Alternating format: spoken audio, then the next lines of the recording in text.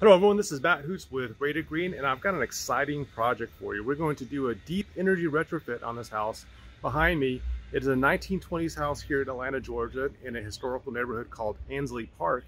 And we are going to take this house down to the studs, mainly because there's no insulation, a lot of siding is rotted, and the mechanical systems have failed over the years. So our goal is to make this house as energy efficient, if not more energy efficient, as any new construction project in the area now, since we're taking it down to the studs, we're going to explore doing an earthcraft renovation, which we're definitely going to get the points for that. And if we do enough, we might even be able to get a passive house certification on this house. So make sure to follow the playlist for this. And the hashtag for this particular house is hashtag 1920s makeover ATL. And we're going to have other contributors to this project as well. We've got the architect, we've got some performance um, engineers that are going to do testing on the house and be sure to follow their channels in the description below as well. We also have several Rate It Green members already signed up to be part of this project. We've got AprilAire, which is going to help with filtration, dehumidification, and also bringing in fresh air for ventilation. And we have Rockwool, who is one of our thermal envelope partners. We're going to completely clad the outside of this house with Rockwool to make this the most energy efficient house in the zip code. And what we're going to do for this series is create a bunch of videos, blog posts, and other content related to this house for you to enjoy and also see our thought process in designing and constructing this house.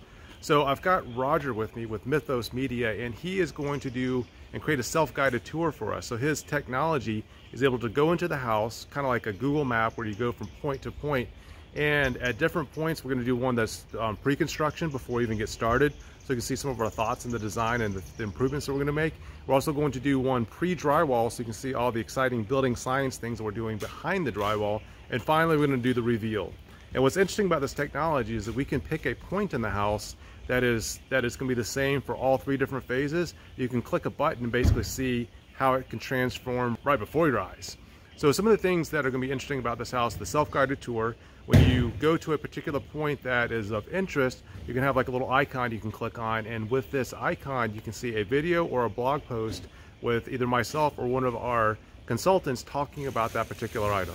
All right, Roger, so how does this technology work? What we're doing today is a uh, virtual reality tour photography. Uh, what we're doing is uh, taking 360 degree photos uh, in about 12K uh, panoramas and what we're going to end up doing is we're going to stitch them all together. We're going to do all three floors and then uh, connect all the photos together so you can uh, explore the entire property at your leisure. And we're also going to add some uh, video, audio backgrounds, uh, information hotspots to make it a truly immersive experience. Thanks again for joining us on this journey as we take you through the design and build process for a greenhouse makeover. Now this is one of the first of its kind where we are using different content creators to create this virtual experience for you, this self-guided tour that is going to be evergreen. Once we put this house up there, it'll always be up there and the YouTube videos will be up there, you know, as long as YouTube is YouTube. Um, to follow this project on YouTube and other social media channels, use the hashtag 1920s makeover ATL, subscribe to this channel, and we hope to see you in the next video. Thanks again for joining us.